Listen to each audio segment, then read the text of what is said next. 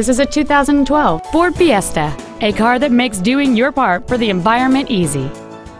It has a four-cylinder engine and an automatic transmission. All of the following features are included.